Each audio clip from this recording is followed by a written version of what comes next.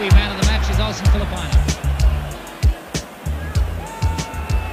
Bad kicking by New Zealand. That's twice now they've failed to find touch on a penalty and they've conceded once again. There's a shape-up too between Kevin Tamati and Greg Dowling.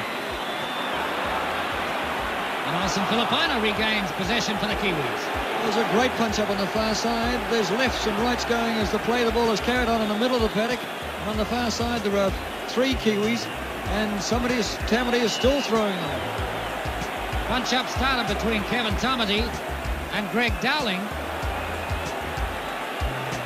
I noticed there that Steve Roach wasn't averse to throwing a couple in while Kevin Tamati was being held. Ricky Cowan trying to break it up. It was really on then, but still down on the ground is Kurt Sorensen. He's not happy at all and hasn't had a good game tonight for New Zealand. But my word, they were throwing plenty on that far side. And I think Tamati is sitting, squatting down a bit. He must have put us some very solid ones in there. the referee has decided to give them five minutes in the sin bin, or is it ten? I think he's pointing to. Is it two players?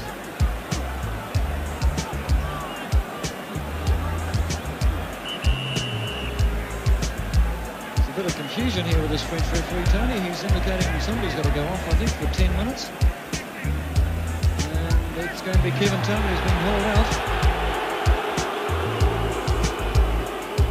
Kevin Tamati being sent to the sin bin. Can't quite see uh, who's being sent for Australia. It was 10 minutes that he signalled.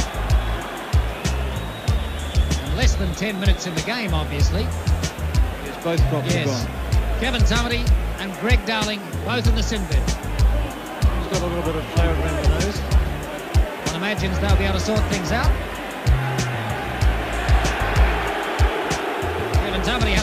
Sense of humour, or has he? He's on again. Well, it was always going to be on between these two. This, oh, this is not good. They should stop this in a hurry. Hugh McGahan going over to uh, try and break it up.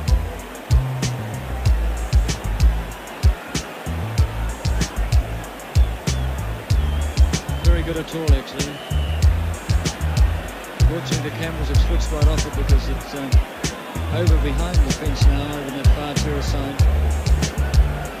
And uh, this isn't very good for the game. Well, it was always going to be on between those two props, Kevin Tamati and Greg Dowling, both of them unofficially listed as the enforcers for their side. So we're down to a few players now. 11 or 12 players aside now.